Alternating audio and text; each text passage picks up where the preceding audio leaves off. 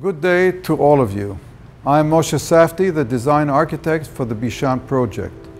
We were delighted when CapitaLand approached us and commissioned us to design this new housing complex in Bishan.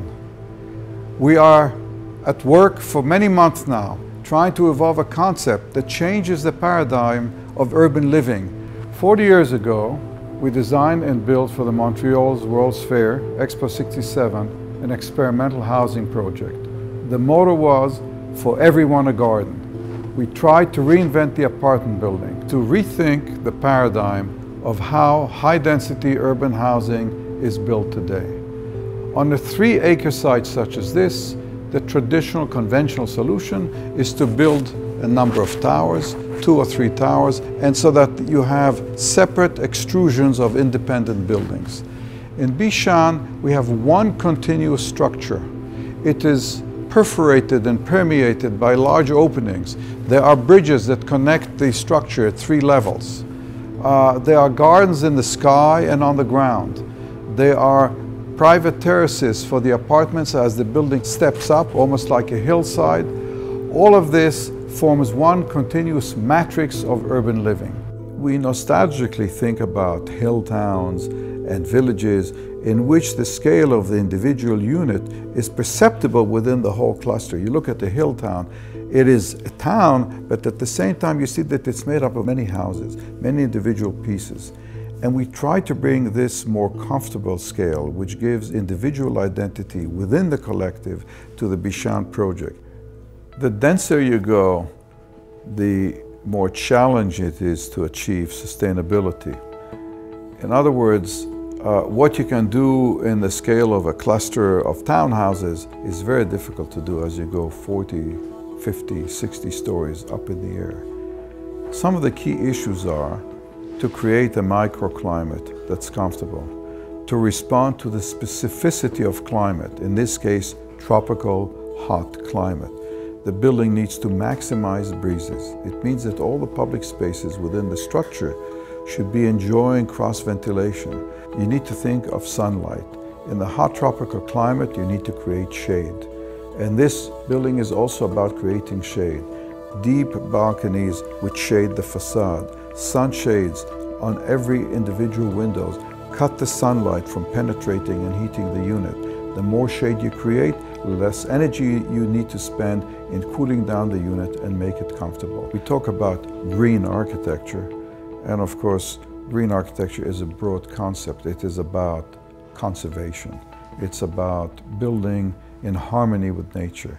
But uh, in Bishan, this takes on both a literal sense. The more planting there is in the building, the more trees are supported by the various terraces, the more shade we create, the more sense that nature climbs up on the building and creates its own place within the structure. As you approach the project off the street, you have a sense of all this massive open space with its trees and, and community facilities. And then you sort of descend into the drop-off area where two levels of parking are completely hidden by planting so that they don't dominate the site. As you rise up the elevator, you come out into a courtyard-like space which is actually open to the weather and looks out to vistas of the city. So you're not sort of in an interior corridor, you're in a ventilated space, entering your unit uh, across a bridge or down the passage, at which point you are within your own domain, within the privacy. And then you can go for a walk through the whole network of walkways and bridges from one part of the complex all the way to the other end, bypassing community rooms, swimming pools, gardens, sitting areas, playgrounds, and you can do that at several levels so that you can actually wander about the structure uh, within the building. You don't need to go back down to the ground. This is, becomes part of your daily experience. It's the, the experience of young children. Uh, of fathers and mothers walking around with their children in the building, of uh, older senior citizens who want to spend time outdoors who are able to find the appropriate space that suits them best within the building.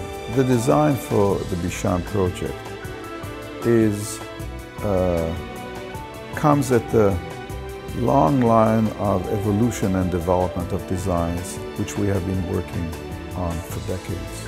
To bring together all these ideas of gardens, of community space, of community and privacy, of, uh, of permeating the building uh, with nature, all this is coming together as part of an evolution of seeking the maximum level of livability for high density urban housing. Nothing would make me happier than to be with you in this event today in Singapore. Unfortunately, I'm in Kansas City where we are inaugurating a project, the Kauffman Performing Arts Center, on which we've been at work for 10 years. I look forward to being with you as we break ground in the near future and to celebrate the inauguration of the project in the years to come. Congratulations to all of you.